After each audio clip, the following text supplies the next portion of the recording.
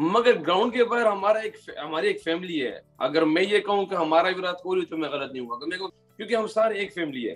क्योंकि अगर अब ये सारे फिर कभी किसी टाइम शाहिद शाह से भी मिल रहे हैं, बाबर आज़म से भी मिलेंगे, या हसन अली से मिल रहे हैं शादाब से मिलेंगे तो भी इसी तरह मिल रहे हैं कि अब इट मीन कि हम हम सारे एक ही हैं और एक दूसरे में जो ना वो चीज़ें शेयर करते हैं, जो किस किसी ना अहमदाबाद में पाकिस्तान टीम के वेलकम पर एक मरतबा फिर रिजवान ने कह दी बहुत ही बड़ी बात। जी हाँ दोस्तों, हैदराबाद से जाने के बाद टीम पाकिस्तान का अहमदाबाद में बहुत ही शानदार इस्तेकबाल हुआ। इंडिया की मेहमान नवाजी को देखकर सभी पाकिस्तानी प्लेयर्स तो इम्प्रेस हो ही रहे हैं।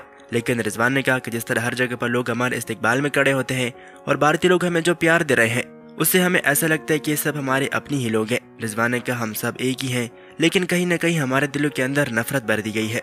रिजवान के इस बात ने सबके दिल को चो लिया है। दोस्तों, आप इस पर अपनी राय नीचे कमेंट कर बताएँ।